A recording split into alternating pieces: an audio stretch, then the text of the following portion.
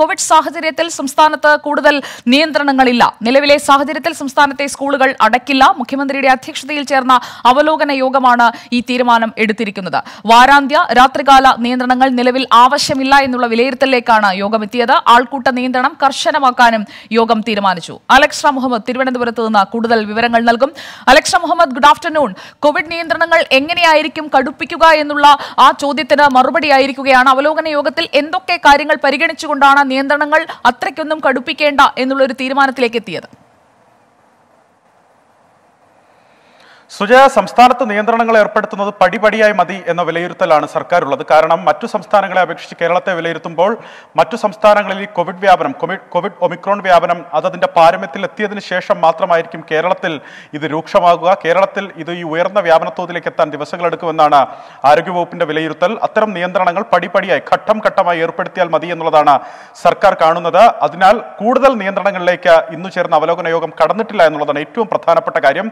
ഇതിൽ സ്കൂളുകൾ ഈ നിലവിലെ സാഹചര്യത്തിൽ സംസ്ഥാനത്തെ സ്കൂളുകളുടെ പ്രവർത്തനവുമായി ബന്ധപ്പെട്ട് ഈ നിലവിലുള്ളതുപോലെ തുടർന്നാൽ മതി. പ്രത്യേകിച്ച് സ്കൂളുകൾ അടയ്ക്കേണ്ട ഒരു സാഹചര്യം നിലവിലില്ല എന്നാണ് ഇന്ന് മുഖ്യമന്ത്രിയുടെ അധ്യക്ഷതയിൽ ചേർന്ന കോവിഡ് അവലോകന യോഗം വിലയിരുത്തിയിട്ടുള്ളത്. അടുത്ത ദിവസങ്ങളിൽ കൂടുതൽ പരിശോധന അതായത് അടുത്ത ദിവസങ്ങളിലെ കോവിഡ് ഒമിക്രോൺ വ്യാപന സാഹചര്യം കൂടുതലായി തന്നെ പരിഗണിക്കും. അതിനുശേഷം അടുത്ത അവലോകന യോഗത്തിൽ ഈ വിഷയങ്ങൾ കാര്യമായി തന്നെ പരിഗണിക്കാനും പരിശോധിക്കാനും ഈ തീരുമാനങ്ങൾക്ക് മാറ്റമുണ്ടാകുമോ എന്നുള്ള കാര്യവും ഒരുപക്ഷെ ആ അവലോകന യോഗത്തിൽ പരിശോധിക്കാനാണ് സാധ്യത. മറ്റു ചില കാര്യങ്ങൾ കൂടിയുള്ളത്. സംസ്ഥാനത്ത് രാത്രികാല വാരാന്ത്യ നിയന്ത്രണങ്ങൾ ഏർപ്പെടുത്തിയിട്ടില്ല. ഈ ഘട്ടത്തിൽ അത് വേണ്ട എന്നാണ് സംസ്ഥാന സർക്കാരിന്റെ തീരുമാനം. മറ്റൊരു പ്രധാനപ്പെട്ട കാര്യം ഈ ആൾക്കൂട്ട നിയന്ത്രണം കർശനമാക്കാൻ തീരുമാനിച്ചിട്ടുണ്ട്. നിലവിൽ സംസ്ഥാനത്തിന്റെ വിവിധ ഇടങ്ങളിൽ ആൾക്കൂട്ടങ്ങൾ ഉണ്ടാകുന്നുണ്ട്. മാത്രമല്ല വിവിധ ജില്ലകളിൽ രോഗവ്യാപനം വർദ്ധിക്കുകയും ചെയ്യുന്നുണ്ട്. പ്രത്യേകിച്ച് തിരുവനന്തപുരം എറണാകുളം പോലുള്ള ജില്ലകളിൽ പ്രതിദിന രോഗബാധിതരുടെ എണ്ണം ആയിരം കവിയുന്നു. സ്വാഭാവികമായി ഈ ആൾക്കൂട്ടങ്ങളെ നിയന്ത്രിക്കേണ്ടതുണ്ട്. ആൾക്കൂട്ടം നിയന്ത്രിക്കുന്നതിന് കർശന നടപടി സ്വീകരിക്കുമെന്ന് സർക്കാർ വ്യക്തമാക്കുന്നു. അവിടെയാണ് ഒരു അവിടെയാണ് ഒരു കാര്യത്തിൽ കൃത്യമായ കാര്യങ്ങൾ അറിയേണ്ടത്. അതായത് ആൾക്കൂട്ടം നിയന്ത്രിക്കുന്നു. അതോടൊപ്പം സ്കൂളുകളും കോളേജുകളും തുറന്നിരിക്കുന്ന സാഹചര്യം. എങ്ങനെയാണ് സ്കൂളുകളിലും കോളേജുകളിലും തുറന്ന് പ്രവർത്തിക്കാൻ കഴിയുന്നത് എന്നുള്ള സംശയം പലരും ഇപ്പോൾ നമുക്ക് സന്ദേശങ്ങളായി ചോദിക്കുന്നുമുണ്ട്. എന്തുകൊണ്ടാണ് സ്കൂളുകളും കോളേജുകളും ഒക്കെ ഇപ്പോൾ പ്രവർത്തിച്ചു വന്ന അതേ രീതിയിൽ തന്നെ തുടരാം എന്നുള്ള ഒരു തീരുമാനത്തിലേക്ക് ഇന്നത്തെ യോഗം എത്തിയത്?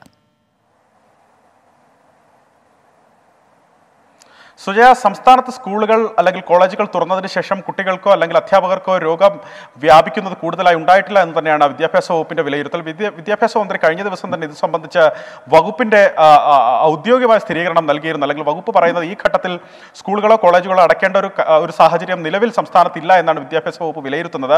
മന്ത്രി തന്നെ അത് വ്യക്തമാക്കുകയും ചെയ്തിട്ടുണ്ട്. മാത്രമല്ല അടുത്ത ദിവസങ്ങളിലെ സാഹചര്യം അത് കാര്യമായി പരിഗണിക്കും. കുട്ടികളുടെ ഭാവിക്കും സുരക്ഷയ്ക്കും സർക്കാർ മുൻഗണന നൽകുന്നുണ്ട്. അടുത്ത ദിവസങ്ങളിലെ സാഹചര്യം കൂടി പരിഗണിച്ചതിന് ശേഷം ആ തീരുമാനത്തിൽ മാറ്റമുണ്ടാകും എന്നുള്ള കാര്യമാണ് നിലവിൽ സൂചിപ്പിക്കാനുള്ളത്. ഇന്ന് ഇന്ന് ചേർന്ന അവലോകന യോഗത്തിൽ സ്കൂളുകൾ അടയ്ക്കുന്നത് സംബന്ധിച്ച് ഒരു തീരുമാനം എടുത്തിട്ടില്ല. അതേസമയം ഈ പുറത്തുള്ള നിയന്ത്രണങ്ങൾ അതായത് ആൾക്കൂട്ട നിയന്ത്രണം പോലുള്ള നിയന്ത്രണങ്ങൾ തുടരാൻ തീരുമാനിച്ചിട്ടുണ്ട്. ഓഫീസുകളുടെ പ്രവർത്തനം അത് ഓൺലൈൻ പരമാവധി ഓൺലൈൻ വഴിയാക്കാനുള്ള നിർദ്ദേശം നൽകിയിട്ടുണ്ട്. ഈ വിവാഹം മരണാനന്തര ചടങ്ങുകൾ പങ്കെടുക്കാവുന്നവരുടെ പരമാവധി എണ്ണം അത് അൻപതാക്കി കുറച്ചിട്ടുണ്ട്. അത്തരം നിയന്ത്രണങ്ങൾ പടിപടിയായി സംസ്ഥാനത്ത് കൊണ്ടുവരുന്നു. അടുത്ത ദിവസം കൂടുതലായി തന്നെ അടുത്ത സാഹചര്യം അതായത് അടുത്ത ദിവസങ്ങളിലെ കോവിഡ് സാഹചര്യം കൂടി വിലയിരുത്തിയതിനു ശേഷം സംസ്ഥാനത്തെ സ്കൂളുകളുടെ പ്രവർത്തനം സംബന്ധിച്ചൊരു കൃത്യമായ വിലയിരുത്തൽ അല്ലെങ്കിൽ ഒരു തീരുമാനം അടുത്ത അവലോകന യോഗത്തിൽ ഉണ്ടാകുമെന്നാണ് പ്രതീക്ഷിക്കുന്നത്. സുജയ. ലോകത്തെവിടെയായാലും ഏത് സമയത്തും ട്വന്റി ഫോർ വാർത്തകളും ഓഗ്മെന്റഡ് റിയാലിറ്റി പാക്കേജുകളും എക്സ്പ്ലെയിനറുകളും വിശദമായി കാണാൻ ഞങ്ങളുടെ യൂട്യൂബ് ചാനൽ നിങ്ങൾക്ക് സബ്സ്ക്രൈബ് ചെയ്യാം.